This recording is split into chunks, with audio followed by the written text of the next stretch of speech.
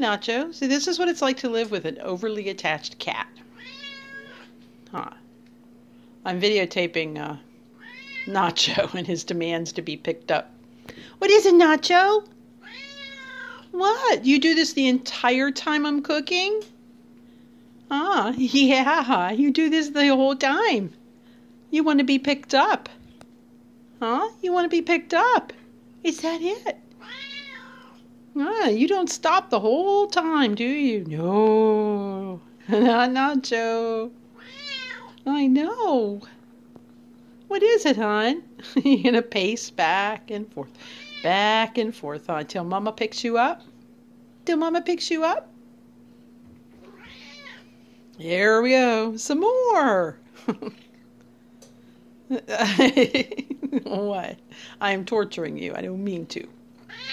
I just had to get this on video. Yes, I did. Okay, is that enough?